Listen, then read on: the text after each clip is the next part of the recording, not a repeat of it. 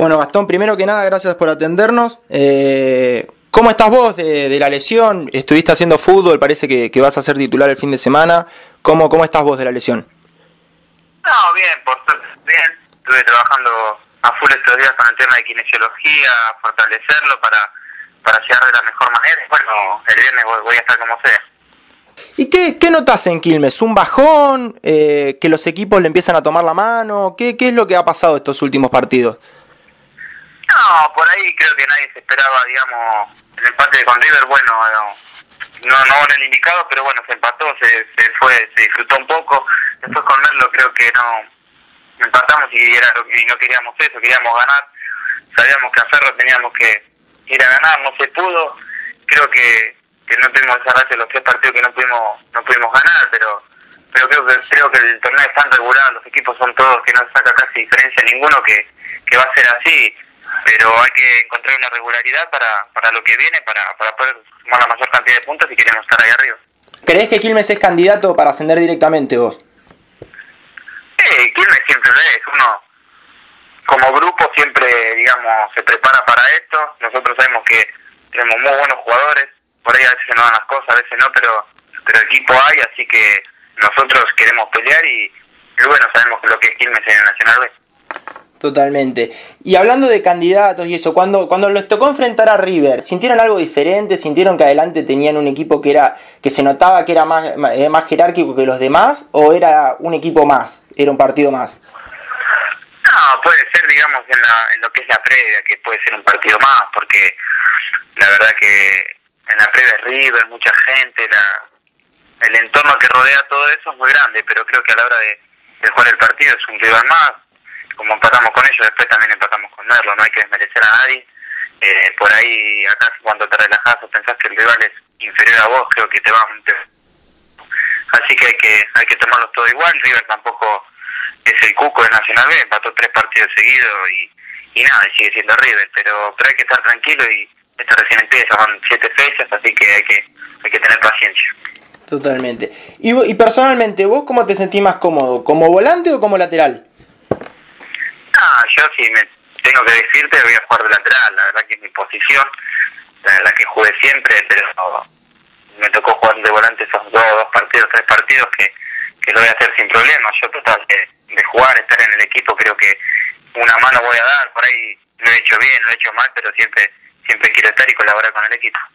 Cuando, cuando estaban en primera, el técnico que, que te dio la, la, chance para jugar y para estar en casi todos los partidos fue Caruso. Eh, ¿Cómo es Caruso en la intimidad? ¿Es igual como se lo ve en los programas de televisión, ahora hablando del ascenso, que te dice, fíjate que va a venir un lateral de la derecha, te la va a bajar el 9, va a patear el 10, o es más relajado, es detallista? ¿Cómo, cómo es en el día a día Caruso? ¿Qué pide Caruso?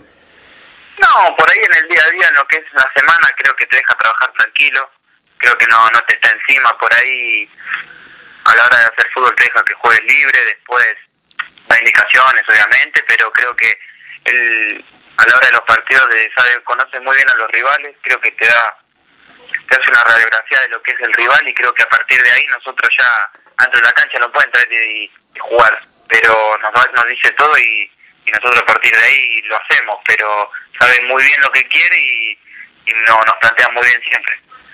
Y el jugador en ese sentido, cuando, cuando ve que lo que pasa dentro de la cancha es lo mismo que le decía el técnico en la charla previa, eh, se empieza a sentir mucho más relajado, ¿no? Que por ahí sí no se plantea tal cual como, como el técnico lo pensaba.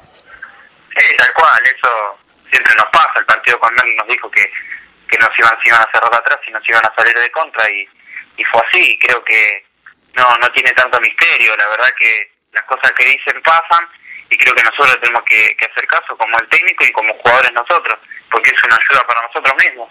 Pero pero no, la verdad que, te da mucha confianza, que, que, vos sepas lo que hacen los rivales. Tal cual. ¿Y el grupo cómo está después de, esto, de estos dos resultados? ¿Está más fuerte también después del, del, del, problemita ese que hubo con los dirigentes? ¿Notás que el grupo está más fuerte, que está igual que antes?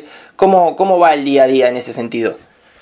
Ah, el grupo siempre estuvo bien, la verdad que vinieron muchos chicos nuevos, ahora ya estamos todos adaptados, ya ya nos conocemos, creo que, que es un grupo fuerte que, que no por ahí no nos tocó un poco lo de lo del este inconveniente que tuvimos, pero pero creo que nada nada nada grave, así que sigue fuerte y, y nada, la verdad que, que un muy lindo grupo.